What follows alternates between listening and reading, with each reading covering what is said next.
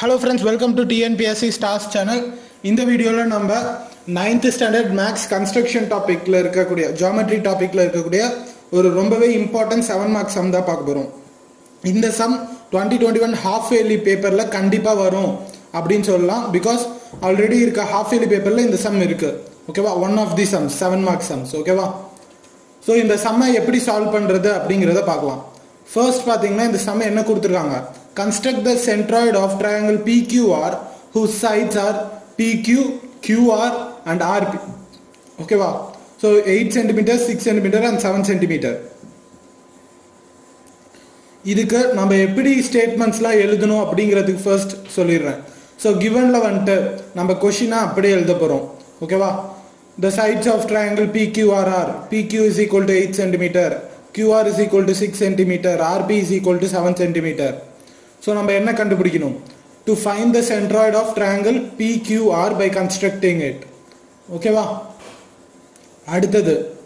So இது வந்துட்டு நம்ம எப்படி கன்ஸ்ட்ரக்ட் பண்ண போகிறோம் அப்படிங்கிறதுக்கானது. First take the side PQ to the base to be the base ஓகேவா you can take any side to be the base as per yours so நம்ம பிக்யூவை மட்டும் எடுத்துக்கலாம் ஸ்டாண்டர்டா ஓகேவா now from the point Q draw an arc. Length 6 centimeter. Draw an arc of length 7 centimeter keeping compass on point P. ஏன் இப்படி பண்ணியிருக்கோம் ஏன்னா ஆர்பி அப்படிங்கிறது செவன் சென்டிமீட்டர் கியூஆர் அப்படிங்கிறது சிக்ஸ் சென்டிமீட்டர் அதனால ஓகேவா next the point where these two arcs meet is R then join the point R with the points P and Q a triangle PQR with, with the sides PQ is equal to 8, QR is equal to 6, RP is equal to 7 will be constructed. Now construct perpendicular bisector for all the sides. Then the centroid of the triangle, label it as centroid. ஓகேவா so இதுதான் உங்களோட final diagram இதை எப்படி இது பண்ணும் அப்படிங்கிறத நான் இப்போ உங்களுக்கு சொல்கிறேன் ஸோ ஃபர்ஸ்ட் நீங்கள் என்ன பண்ணணும் அப்படின்னு பார்த்தீங்கன்னா பிக்யூவை வரைய போகிறீங்க ஓகேவா ஸோ இதுதான் பிக்யூ ஜாமெண்ட்ரி பொறுத்த வரைக்கும் உங்களோட லேபிளிங் அப்படிங்கிறது ரொம்ப இம்பார்ட்டண்ட் ஸோ இது வந்துட்டு எயிட் சென்டிமீட்டர் அப்படின்னு எழுதிக்கிறேன். அடுத்தது இப்போ நான் ஆர் பிக்யூஆர் அப்படிங்கிறது தான் நம்ம ட்ரையாங்கிள் இதில் வந்துட்டு PR is equal to seven centimetre RQ is equal to six centimetre அதுக்கப்புறம் பிக்யூ இஸ் ஈக்குவல் டு எயிட்டுன்னு கொடுத்துருந்தாங்க. ஓகேவா ஸோ இதை வச்சு தான் பண்ணுறோம் இப்போ நம்ம என்ன பண்ணுறோம்னா ஃபஸ்ட்டு ட்ரையாங்கிள் உருவாக்குறோம். ஸோ அதுக்கு காம்பஸோட நீடில் இருக்கு இல்லையா ஊக்கு? அது இந்த சைடு வச்சுட்டு ஸ்கேலில் செவன்னு செவன் சென்டிமீட்டர் மெஷர் பண்ணிடுங்க ஸ்கேலை வச்சு. காம்பஸையும் பென்சிலையும் செவன் சென்டிமீட்டருக்கு மெஷர் பண்ணிக்கோங்க. மெஷர் பண்ணிட்டீங்க அப்படின்னா உங்களுக்கு இங்கே ஒரு ஆர்க் கட் ஆகும். ஓகேவா ஸோ அந்த இது படி பண்ணிங்கன்னா.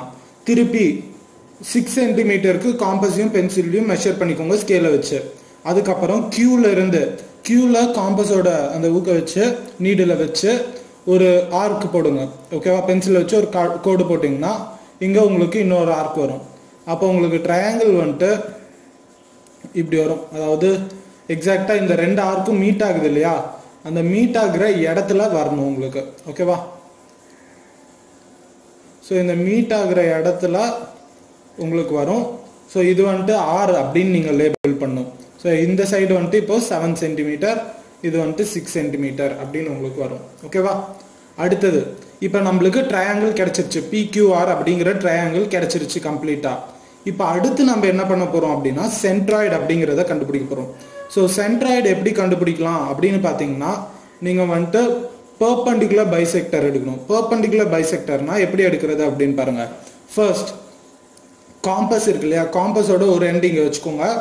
மோர் தென் ஹாஃப் ஓகேவா மோர் தென் ஹாஃப் விரிக்கணும். அதாவது இதுதான் நடுவில் இருக்கிறது அப்படின்னா நீங்கள் இந்த அளவுக்கு லென்த்தில் காம்பஸை விரிக்கணும். இங்கேருந்து இந்த அளவுக்கு லென்த்தில் காம்பஸை விரிக்கணும். அதுக்கப்புறம் அப்படியே இங்கே நீடில் வச்சுட்டு இங்கே ஒரு ஆர்க் அதுக்கப்புறம் இங்கே ஒரு ஆர்க் கட் பண்ணுறீங்க ஓகேவா திருப்பி இங்கே காம்பஸோட நீடில் வைக்கிறீங்க. அதே மெஷர்மெண்ட் இருக்கணும். மெஷர்மெண்ட் மாறக்கூடாது. மெஷர்மெண்ட் மாறுச்சு அப்படின்னா உங்களுக்கு ஆன்சர் தப்பாயிரும். ஸோ அதே மெஷர்மெண்ட்டில் இங்கே காம்பஸோட நீடில் வச்சுட்டு இங்கே ஒரு ஆர்க் திருப்பி இங்கே ஒரு ஆர்க் ஓகேவா ஸோ இப்போது இந்த ரெண்டு லைனையும் ஜாயின் பண்ணிங்கன்னா உங்களுக்கு இந்த இதோட சென்டர் வழியாக பாஸ் ஆகும். ஓகேவா அடுத்து என்ன பண்ணுறீங்க அப்படின்னா ஏதாவது ஒரு சைடு எடுத்துக்கோங்க. இந்த சைடு ஓகேவா ஸோ இந்த சைடு எடுத்துக்கிட்டீங்க. இந்த சைட்லேயும் அதே.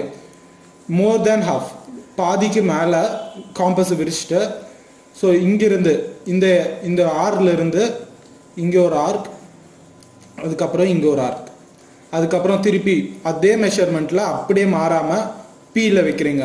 பீல வச்சுட்டு இங்கே ஒரு ஆர்க் அண்ட் இங்கே ஒரு ஆர்க் ஸோ இப்போ இதை ரெண்டுத்தையும் ஜாயின் பண்ணுங்க.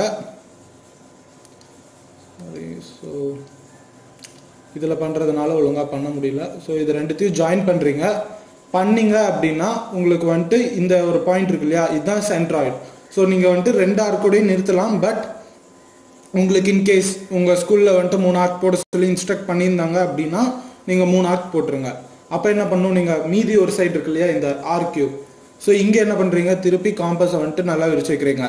மோர் தென் ஹாஃப் அப்படிங்கிறதுல. விரிச்சு வச்சுட்டு ஆறுலேருந்து இங்கே ஒரு ஆர்க் அப்புறம் இங்கே ஒரு ஆர்க் அப்படின்னு எடுக்கிறீங்க. ஓகேவா ட்ரையாங்கிள்குள்ளார ஒரு ஆர்க் ட்ரையாங்கிள்க்கு வெளியே ஒரு ஆர்க் அதுக்கப்புறம் அதே மெஷர்மெண்ட்டில் க்யூவிலேருந்து இங்கே ஒரு ஆர்க் இங்கே ஒரு ஆர்க் மோர் தென் ஹாஃப் அப்படிங்கிறது நீங்கள் எவ்வளோ பெருசாக வேணாலும் விரிச்சு வைக்கலாம். உங்களோட ப்ரெசன்டேஷன் எப்படி இருக்கணும் அப்படிங்கிறத பொறுத்து. ஓகேவா கியூவுக்கு பக்கத்தில் இந்த இடத்துல கூட உங்களோட காம்பஸ் அதாவது நீடில் இங்கே இருந்துட்டு பென்சில் இங்கே வரைக்கும் கூட நீங்கள் அந்த அளவுக்கு விரிச்சு வைக்க முடியும். ஓகேவா ஸோ இப்போ இந்த லைனை ஜாயின் பண்ணேன் அப்படின்னா இங்கே இருக்கு இல்லையா இந்த டாட் இந்த மூணு லைனும் ஜாயின் ஆகுற டாட் தான் நம்ம சென்ட்ராய்டு அப்படின்னு சொல்லுவோம். ஓகேவா ஸோ இதுக்கு வந்துட்டு ஓ அப்படின்னு மார்க் பண்ணிடுங்க ஓகேவா அவ்வளோதான் ஸோ இங்கே இருக்க லைன்ஸ் எல்லாத்துக்குமே நீங்கள் ஒரு மார்க்கிங் கொடுத்து தான் ஆகணும். ஸோ இதுக்கு வந்துட்டு ஏன்னு கொடுங்க. B C D e, E